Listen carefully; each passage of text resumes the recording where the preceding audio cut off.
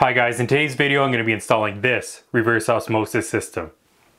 This is the Hero 4-stage 75 gallon per day RO system by Aquaflow.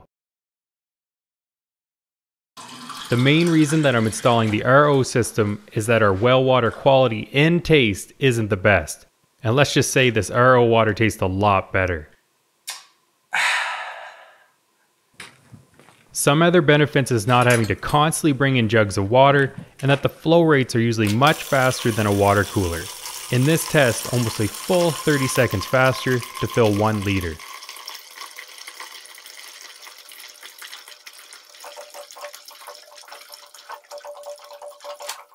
Before running out and purchasing a reverse osmosis system, it is a good idea to have your water tested.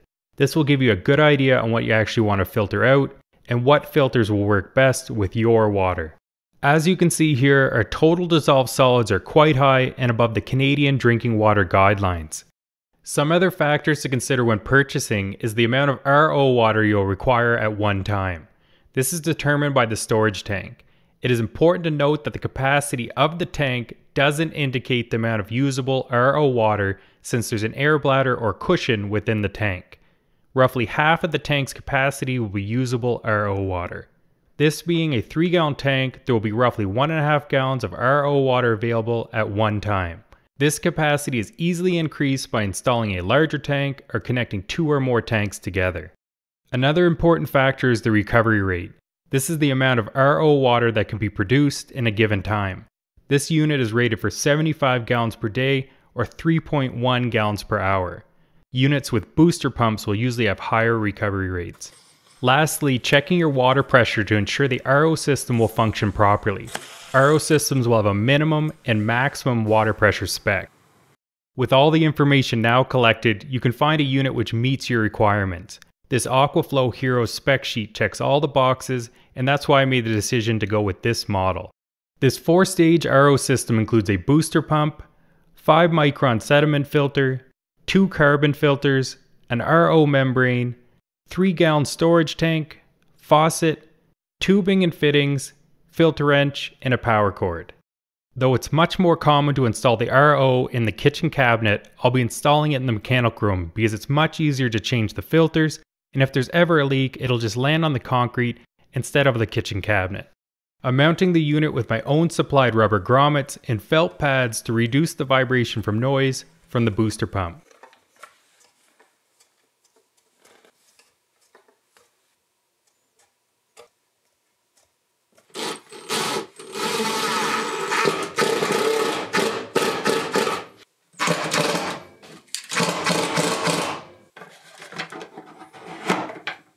The first connection I'm making is the cold water supply.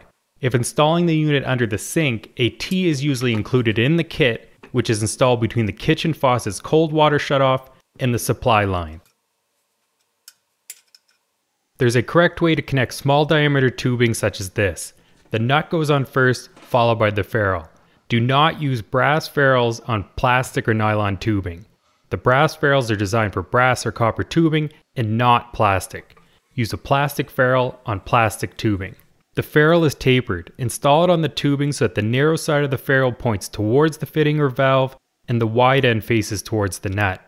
Slide the tubing insert in fully, then insert the tubing as far as possible into the fitting or valve, followed by tightening.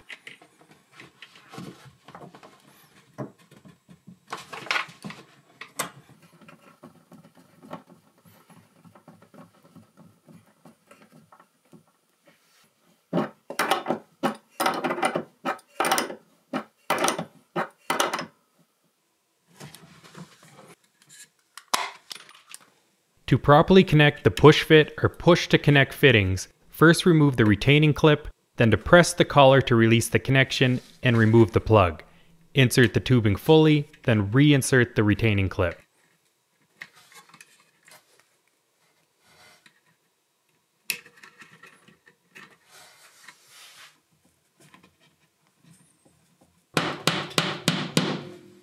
This line I'm running now is unique to this unit and I'll explain its function shortly.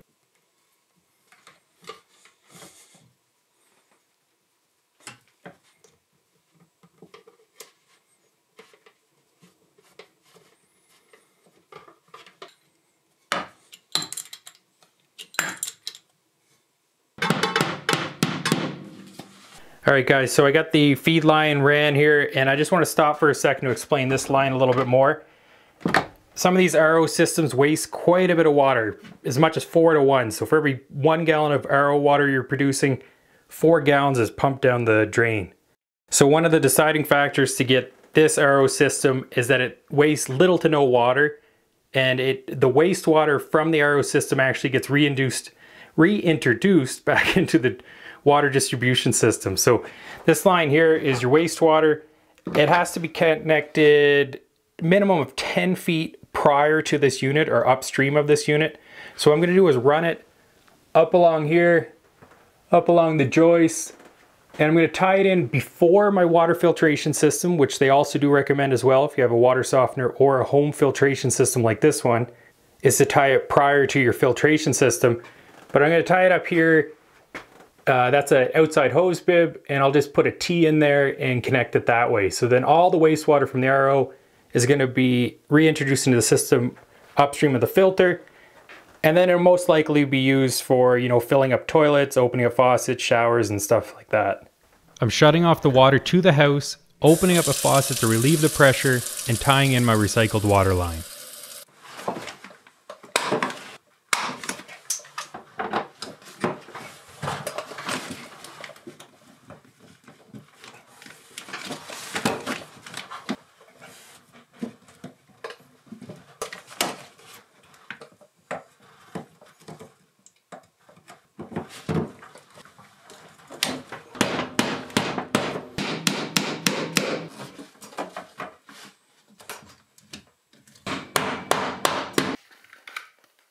Next is connecting the storage tank. The valve on top usually requires hand tight only. Careful not to over tighten as it is plastic. I also built a stand for the tank to keep it off the floor.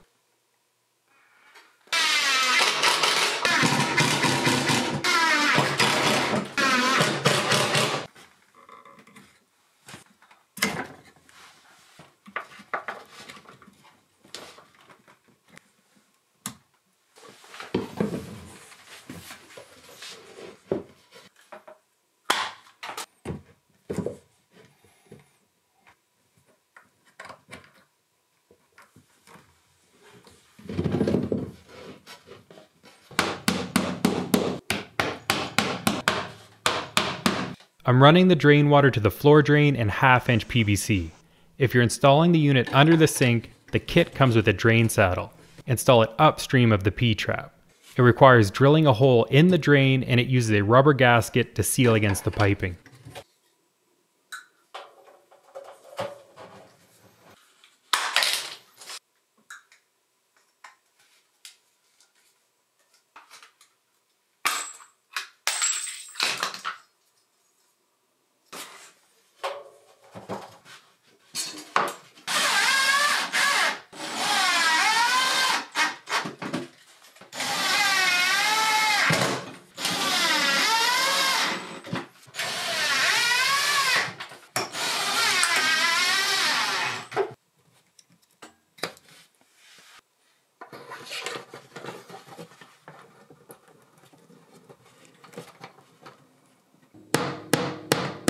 I'm securing the power cable to the drain line, but don't plug in the unit just yet.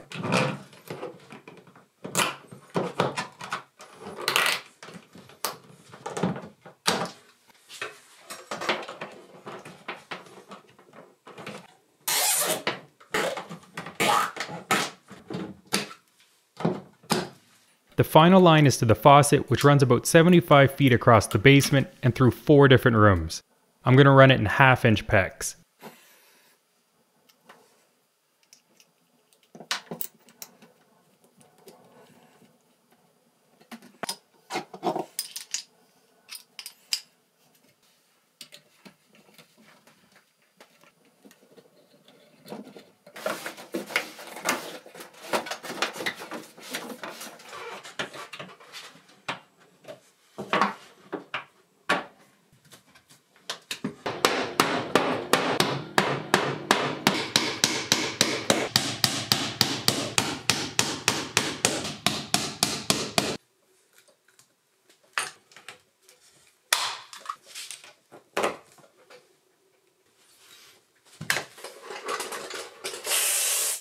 So I just reached into my tool pouch and I was like, what the heck did I cut myself on? I know I don't have any open blades in there. I'm usually pretty careful with that. And I pull out my Lenox cutter, which I've had easily five plus years. And what I didn't ever notice is that the blade is actually exposed on the backside. That's an extremely poor design. So I went to grab the cutters. I actually squeezed my finger directly onto the blade. If you're wondering why I'm drilling so far forward in the cabinet, it's because the back of the cabinet ends up being too close to the exterior wall in the basement and risks the chance of freezing the line.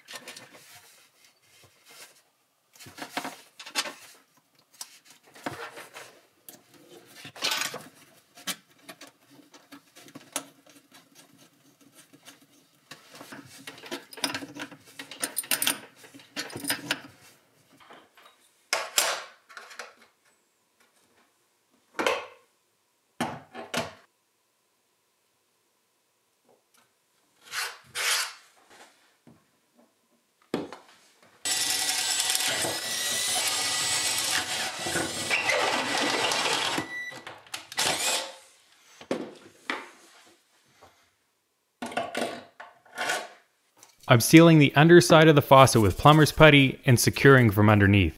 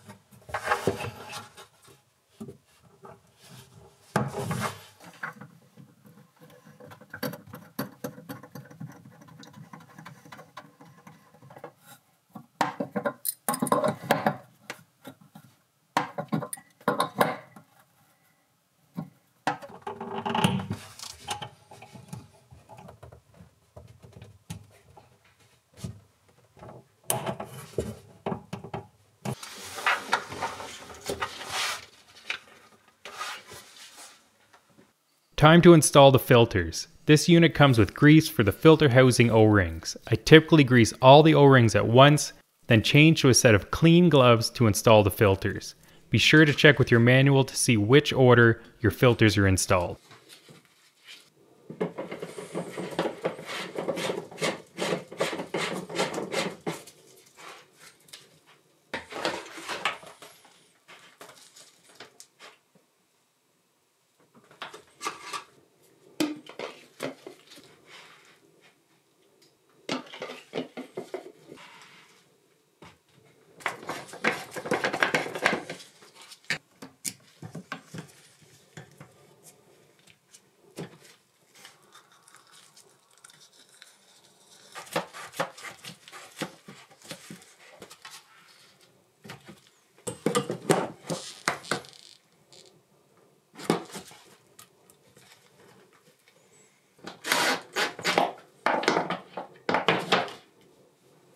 This unit also recommends sanitizing the storage tank with a half teaspoon of hydrogen peroxide or common household bleach during the initial startup and is added into the tube at the storage tank.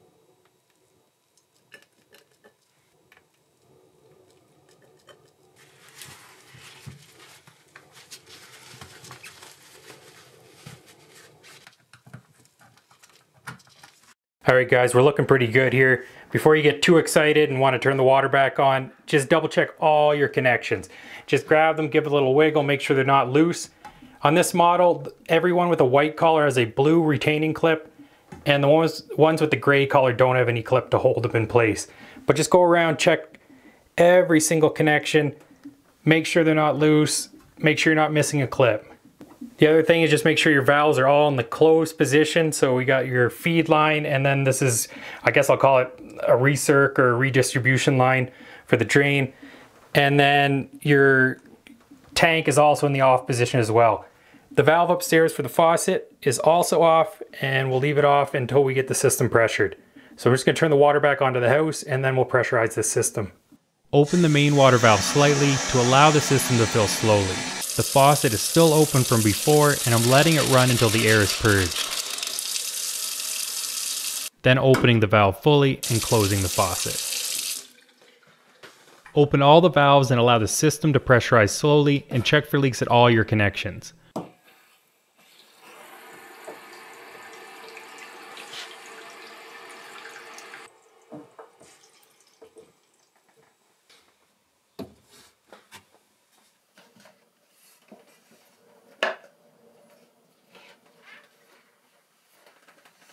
Plug the unit in and wait for the storage tank to fill.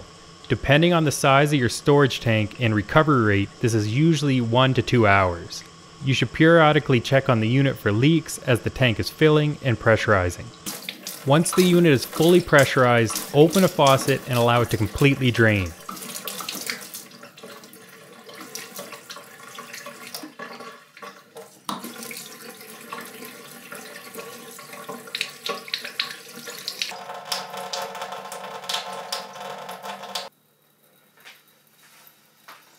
Then close the faucet.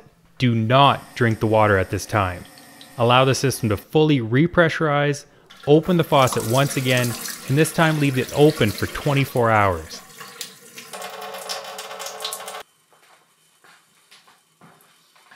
After 24 hours, close the faucet and allow the system to repressurize. The RO system is now purged and ready for use. This flushing procedure is based on manufacturer's instructions. Always refer to your manual for safe startup procedures. So it's all pressured up and ready to go. And I just want to go over a quick summary of all the connections because I know it was a lot all at once. So what we have here on the far right, this is my cold line header. So the cold water is entering the system and into the filter. This is a five micron sediment filter. And to be honest, I probably will never have to replace it. And that's because I have a whole house Water filtration over here at one micron, so five microns should never even be getting to that RO system. I was getting a lot of comments on this video about when and how often you have to change this filter. And it's totally dependent on your water usage and also the quality of your water. We have extremely hard water and a lot of total suspended solids. As you can see in the filter, it's catching a lot of the particles. But that video came out about five months ago, and if you look at the pressure drop between the filter, we're at 48 psi and 48 psi. So I have no pressure drop. I'm not going to change the filter, and I, suspect I'll have to change this filter at probably a year mark or a year and a half. I won't be changing it until the pressure drop is great enough that it actually bothers me. All right, so back to the RO system. When it exits the sediment filter, it enters the carbon filter, and then it goes from there to the RO membrane, and then it passes from that to a secondary carbon filter. Uh, this line in the back here is to our pressure tank, our three gallon pressure tank. The drain line also comes off the back and goes to the floor drain. What's kind of nice about this is I live in really dry Alberta and I would have to add a bucket of water to the floor drain every month because it would evaporate and create sewer gas smell in the mechanical room. So the RO will add a little bit of water to the floor drain each day and it'll kind of act as a trap primer and I won't have to add water to it. And this line here is for the wastewater and it gets introduced back into the system, flows up along here, and ties in just on the other side of my hose bib. And this water savings was important to me because I'm on a well system and the production rate of the well is quite low. So any little bit of water I can save is a bonus. And this leads us to a final line, which this line goes all the way up and probably travels about 75 feet to our faucet. Runs all along here. And I'll jump over to the other room where it uh, pops out. Pops out on this side here. Runs along the floor joist. This is that giant cistern I was talking about that I'll be just ripping out. It is not needed. Just kind of runs along the other piping here.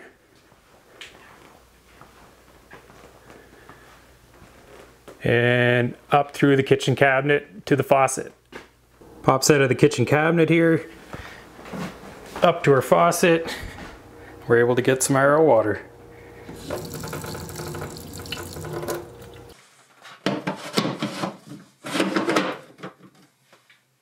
Well guys, thanks for watching and hopefully you found this video informative. And like always, liking, commenting, subscribing is always greatly appreciated. Till next time.